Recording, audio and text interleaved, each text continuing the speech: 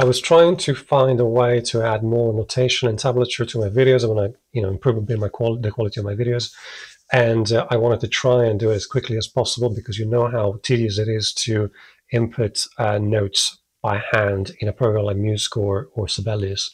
So I've used three programs today, and this is just a, a still work in progress. So if you have any suggestions, if you find different ways, please leave a comment. Let me know because obviously I'm always trying to improve things. So the three programs we're going to use are uh, Reaper, but you can use any DAW, any digital workstation, because as long as you can import VSTs, um, that's fine. Then I'm going to use a VST called NeuralNote. I'm going to leave all the links in a pinned comment in the description as always. And then I'm going to use MuseScore, which again is open source and you can use for free with some limitations, but you can use all these programs for free. So um, as you can see here, I've recorded a simple line and it's just a, a 251. Uh, for now, I'm just going to do simple things.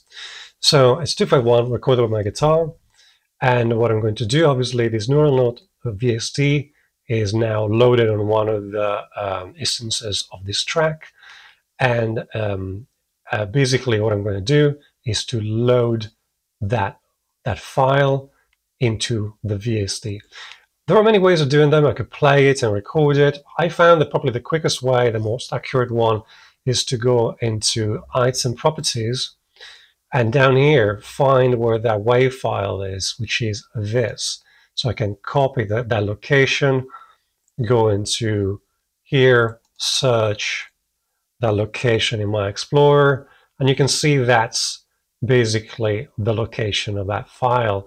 All I do now, I drag it into that look in that area there, and I go back into close all this, and I go back into my Reaper. Now that file is loaded, and you can see that he has this uh, VST has already um, basically turned that file into a MIDI file.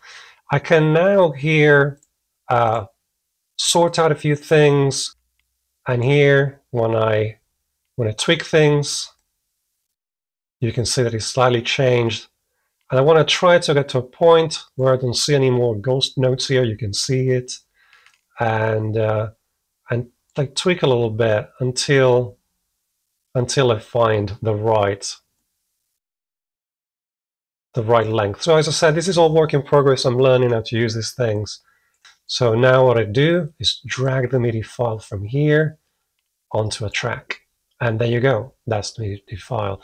Now what I want to do, as a, any MIDI file, I try to quantize it. So I'm going to select everything, quantize, make sure that I'm 100% here, manual, selected notes in position, and I go, okay.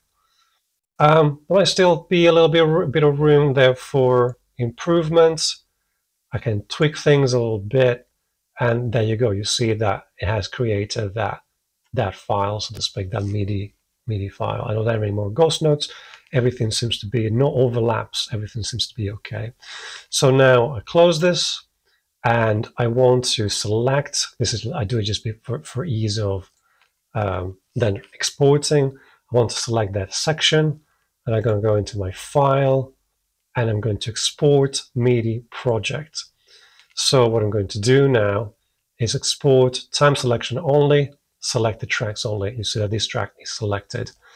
And that's going to create a MIDI file on my desktop called MIDI export. Okay, so to do OK.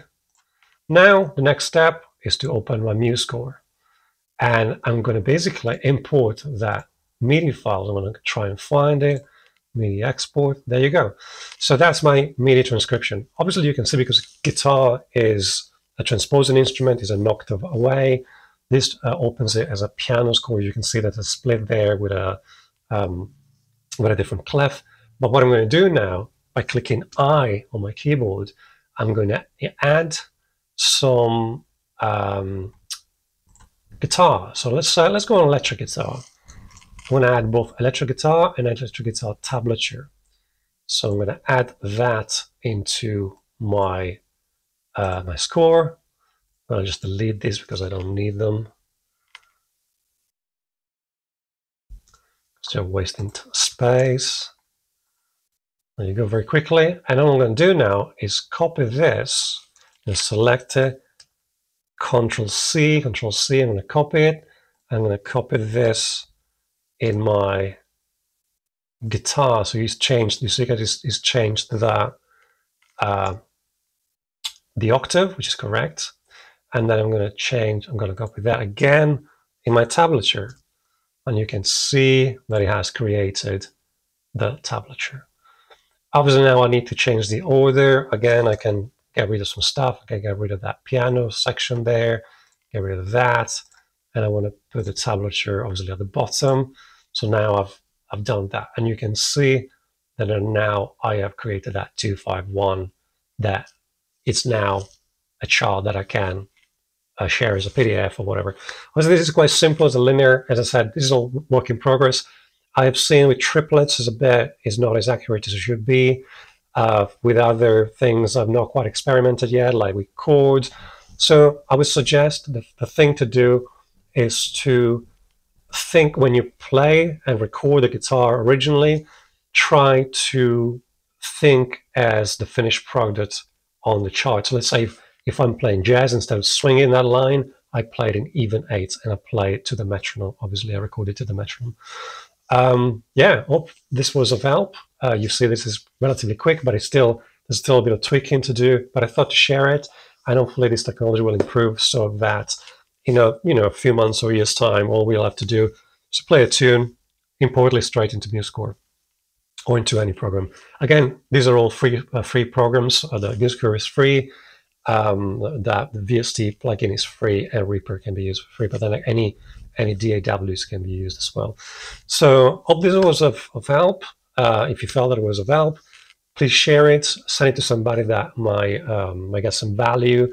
Check the links in my description, please, my music. And again, there's, there's a tip jar, all the usual stuff, subscribe, like, and all, and all that. Check out all the other videos in my, in my uh, channel as well. All right, take care. Bye-bye.